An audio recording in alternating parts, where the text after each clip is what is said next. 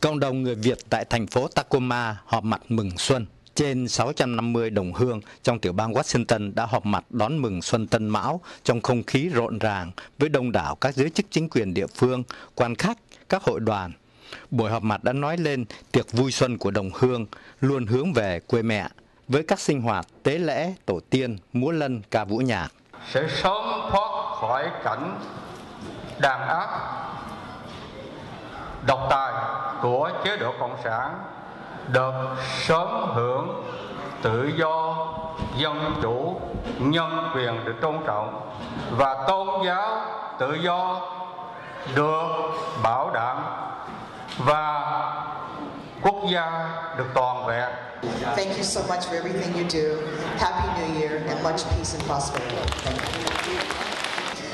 On behalf of Pierce County, we're very grateful to have celebrate the new year here with us and to open your home, your neighborhood to us. Tôi là mục sư uh, Nguyễn Phú Trung của Hội Thánh Tin Lành Sống Đạo. Chúng tôi đầu năm chúng tôi đến đây để mà chúc mừng cho cho cộng đồng mọi người. Chúng tôi đem muốn đem cái tin mừng mừng đến cho mọi người. Hi, I'm Jeff Gross. I wanted to wish everyone Chúc Mừng Năm Mới, Happy New Year. I'm a sponsor for the uh, community event today. I'm wishing everyone prosperity, peace, happiness for the coming year. Chúng tôi là Nguyễn Đình Thắng là giám đốc điều hành của Ủy ban Cứu người Vật biển, tức là Boat People SOS. Hôm nay chúng tôi đang có mặt ở tại Tacoma. À, vừa rồi chúng tôi mới dự hội trợ Tết ở tại Seattle và tuần tới chúng tôi sẽ đến Portland để mà dự hội trợ Tết.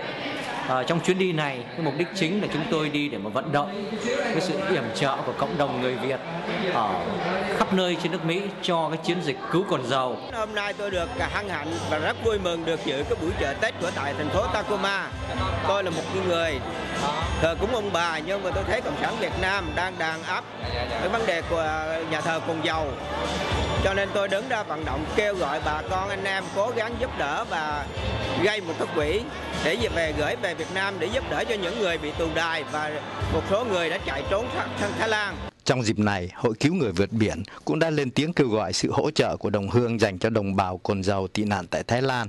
Sau hết là tiệc trà và ẩm thực do cộng đồng Tacoma khoản đãi gồm bánh trưng, bánh tét, heo quay, bánh mứt.